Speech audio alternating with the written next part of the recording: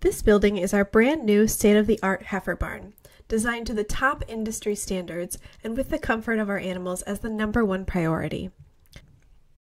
Let's take a look inside at some of the technological advances that make this barn a really wonderful place for our heifers.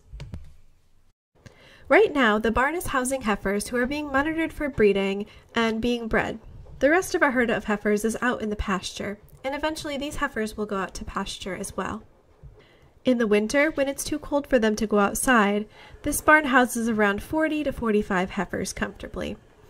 The body heat of the heifers keeps the barn really nice and warm, right around 45 degrees, even though there's no heating in the building.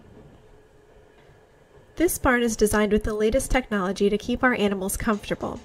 We do that through a couple of different ways. Number one is regulating temperature and climate. Jersey cows and heifers like to be at a pretty consistent temperature and they like to stay decently warm, right around 65 degrees. Uh, number two, offering space to grow. And number three, increasing the ventilation in the barn. The number one way that we're able to control temperature and climate is with these climate controlled curtains that raise and lower themselves based on the weather. These curtains allow for airflow, but they also prevent rain or snow from blowing into the barn. They have sensors that prompt them to raise or lower in cases of inclement weather like rain. We also control the temperature and the ventilation with these fans and with this tunnel ventilation system. These temperature controlled fans provide fresh air to the barn, keeping the temperature low in the summer to prevent heat stress. The fans also allow for good ventilation even when the curtains are closed in the winter.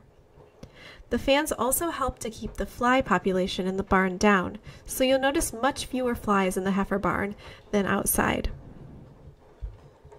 In the barn, there are nine separate group pens, so when a group of heifers outgrows one pen, they can move up to the next one. Heifers are grouped together by age, so they all tend to grow at about the same rate. Some of the other features that keep our heifers really well cared for are the indoor wash rack and heated waterers to prevent any freezing in the winter. All of these technological advances make this barn a really wonderful place for our heifers to be. Thanks so much for touring the heifer barns with me.